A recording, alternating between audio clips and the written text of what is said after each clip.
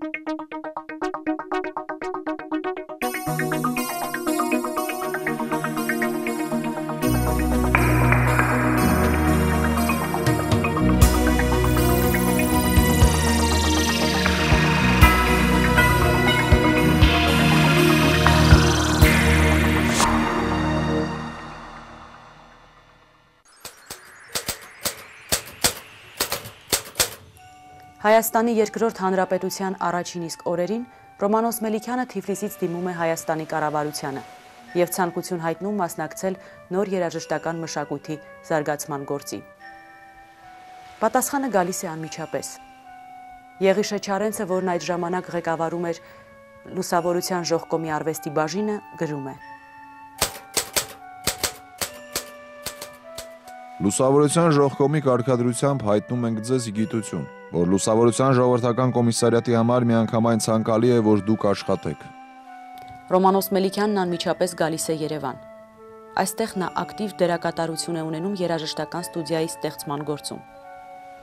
Այդ ստուդիայի հիման վրա 1923 թվականին Երևանում ստեղծվեց Պետական կոնսերվատորիան։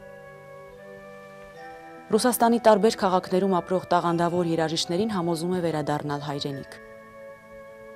1922 թվական հունիս։ Նամակ Դավիթ Սողոմոնյանին։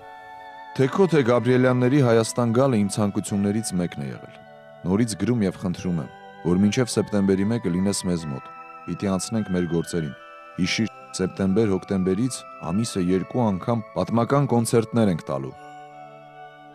Ռոմանոս Մելիքյանի ջանքերով հայ երաժշտության զարգացման իր աջակցությունն է բերում եւ սփյուռքահայությունը։ Դավիթ Սողոմոնյանին գրված նամակներում նա կարևորում է սփյուռքահայության դերը, թե գործնական եւ թե ապագա ծրագրերի իմաստով։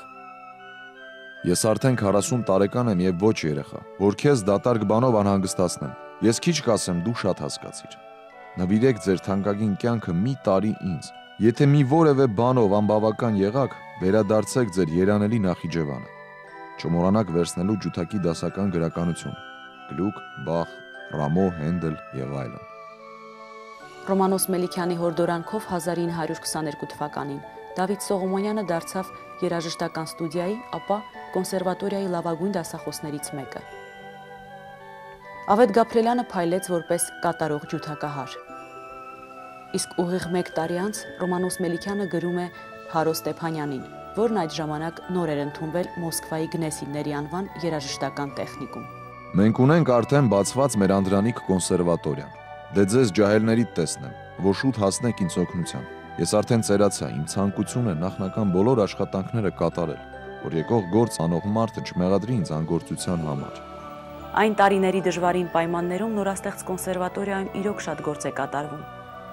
Կազմվում է երգչախումբ, լարային կվարտետ, համերգներ տրվում։ Ուսանողները գործուղվում են շրջաններ, ժողովրդական երգեր գրառելու։ Ապագայում կվիճենք, թե որն է հայ երաժիշտը եւ որը հայ երաժշտությունը։ Իսկ այժմ գործ։